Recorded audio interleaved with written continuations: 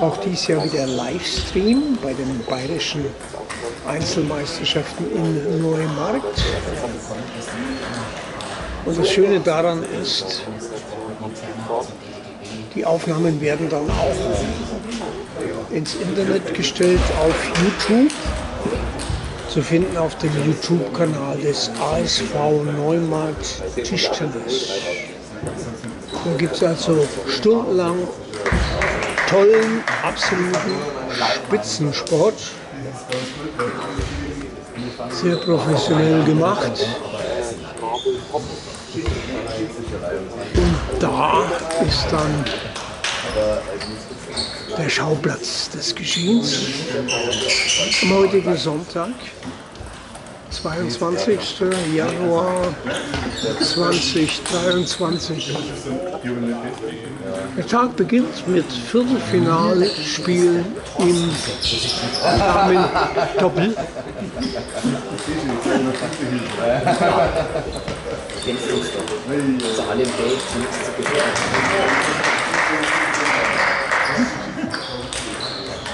Während sich die Herren, die Champions, im anderen Halleneck einspielen.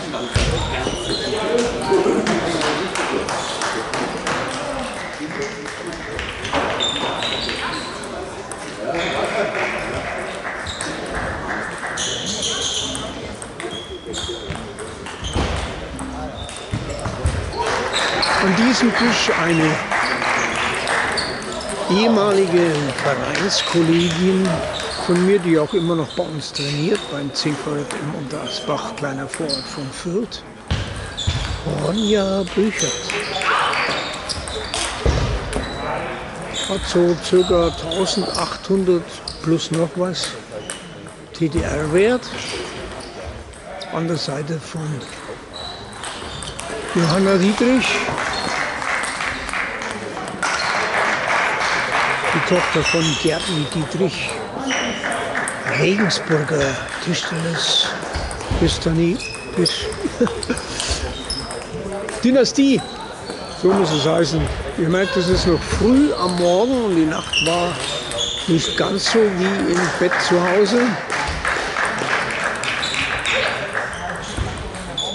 Also in Regensburg gab es schon zu meiner Zeit, Mitte, Ende der 60er Jahre, großartige Spieler, Jugendspieler, Nachwuchsspieler, Robel und Sitzmann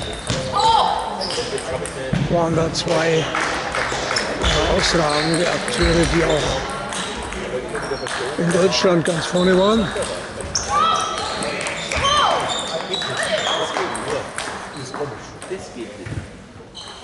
Aber es läuft nicht gut für die Ronja, das war zu erwarten.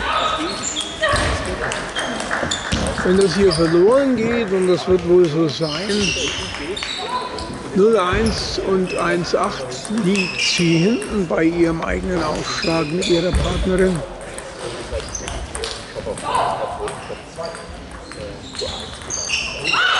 Aber vielleicht wird dieses Video mal eine tolle Erinnerung an Sie, wenn diese junge Dame hier eventuell Karriere gemacht hat. Die ist, glaube ich, erst 15 oder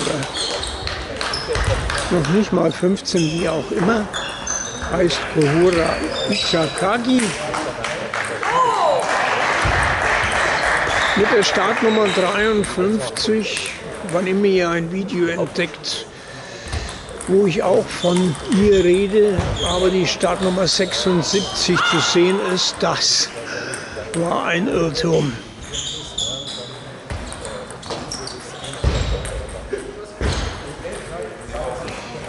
Es war auch eine Dame mit asiatisch Look, also japanischen Look, aber nicht verwandt und nicht verschwägert, glaube ich. Obwohl es da einiges gibt an Itagakis durch den jetzigen Trainer des TSV Bad Königshofen. Heute spielen sie in der ersten Bundesliga gegen Ochsenhausen. Kochi Itagaki. Da spielen einige Kinder sehr gutes Tischtennis. Sie ist wohl die talentierteste. Und schon in jungen Jahren ganz oben auch in der deutschen Rangliste.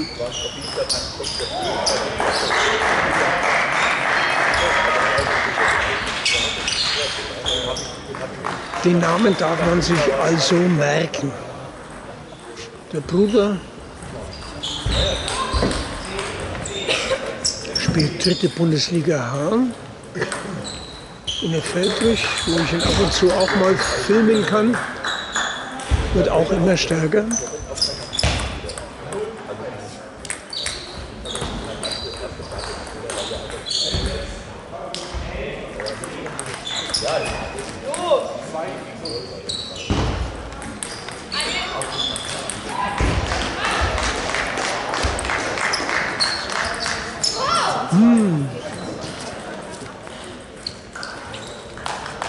Zu viel Unterschnitt und dann geht er ans Netz und raus.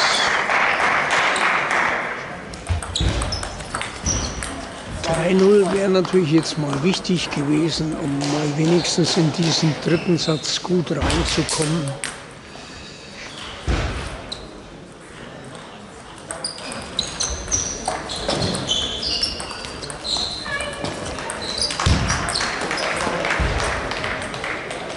Aber wie gesagt, das weiß die Ronja selbst, dass das eine fast unlösbare Aufgabe ist.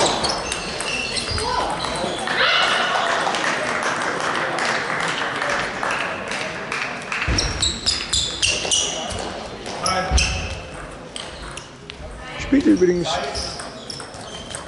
dritte Damen-Bundesliga vorne, glaube ich, und ersatzweise dann zweite Damen-Bundesliga hinten. Aber auch das ist keine sichere Angabe. Wer es genau wissen will, muss da googeln oder sich den Livestream anschauen. Denn sie spielt in Fürstenfeld und die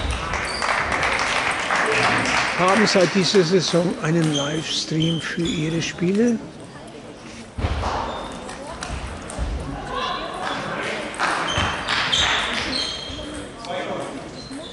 Ja, die Partnerin gilt es noch zu erwähnen von Kohura Itagaki. Auch kein unbeschriebenes Blatt. Die Tochter von Cornelia Faltermeier, ehemalige deutsche Spitzenspielerin waren, glaube ich, die 80er. Hoffentlich mache ich sie da nicht zu alt. Ich habe sie da jedenfalls selber noch persönlich spielen sehen. Und wenn mal was kam, dann gab es eventuell sogar wenige Sekunden im Fernsehen. Tischtennis ist ja nun nicht der Sport, der im Fernsehen ganz groß rauskommt.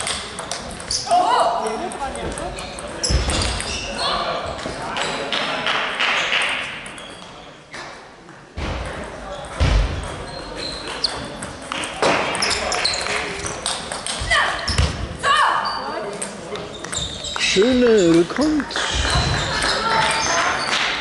Sonja, hochgezwirbelt.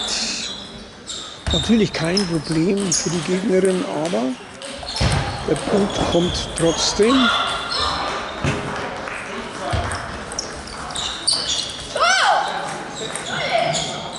Aber ich weiß, das ist nicht ihre Lieblingsdisziplin.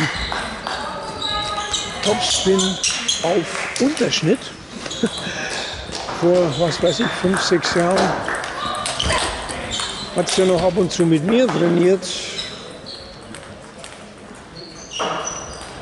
Und ich bin ja auch so mehr der Schnippler, der Chopper.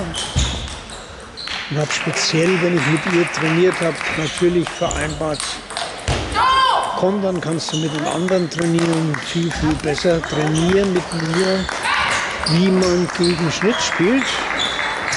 Aber das hat man entweder drauf oder hat es nicht drauf. Da gibt es manche, die sind gar nicht so gut, aber ziehen dir jeden Schnibbelball um die Ohren. Und manche, die sind viel besser als du, aber haben eben diese Probleme mit dem Unterschnitt.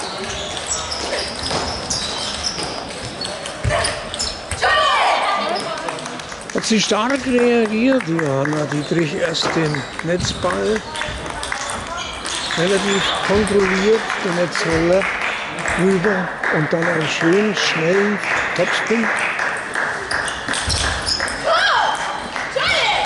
Schade um den.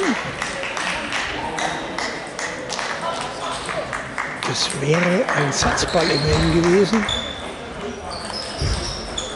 Wollte aber nicht auf den Tisch.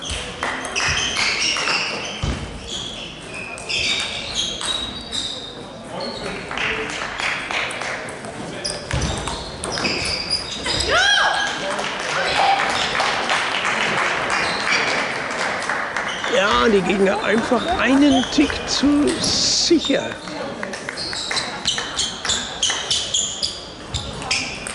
Selbst wenn Richard, Dietrich ihre besten Bälle auspacken, ist da noch lange kein Punkt gemacht. Aber den hat sie verhaftet, möglicherweise irgendwie mit, was weiß ich, worum sie sich dann entschuldigt. Es gibt ja auch den seltsamen Brauch mittlerweile, dass Spieler sich entschuldigen, wenn sie einen Elfmeter gut treffen.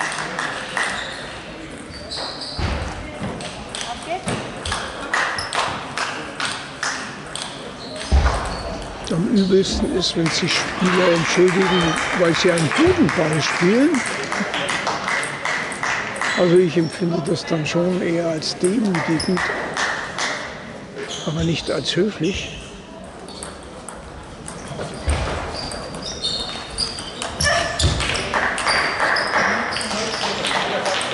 Ja, Ronja, du bist schuld, du hast den letzten versemmelt. Der lag doch. Gestern habe ich Johanna Dietrich ein paar Mal in wichtigen Endphasen gesehen, wo ich den subjektiven Eindruck hatte, die Nerven haben geflattert. Diesmal war sie die Nervenstärke. Auf jeden Fall. Vielleicht war das auch gestern so und ich habe das falsch beurteilt. Ja, die liebe Ronja, damit hat sie nur noch eine Aufgabe bei diesen bayerischen Einzelmeisterschaften außer Zuschauen, nämlich den Kameramann wieder heil nach Hause bringen. Deswegen an dieser Stelle ein riesengroßes Dankeschön für den Service. Sie ist seit neuem Seniorenbetreuer für Reinhard Steinbecher.